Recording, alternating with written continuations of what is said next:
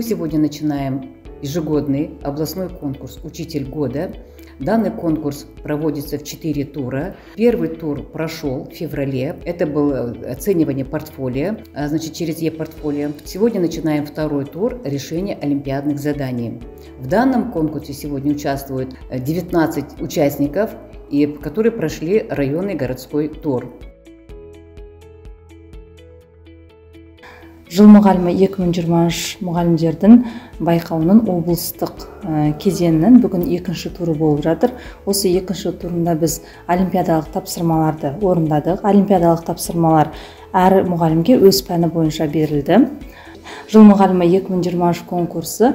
Ол мұғалімдердің мәртебесін көтеруге бағытталған мұғалімнің кәсіби құзыретін қоғамдағы орнын көтеруге бағытталған конкурстардың бірі деп ойлаймын. Осындай байқаулар жиі ұйымдастырылып мұғалімдердің кәсіби құзыреттілігін шыңдауға көмектеседі деп ойлаймын.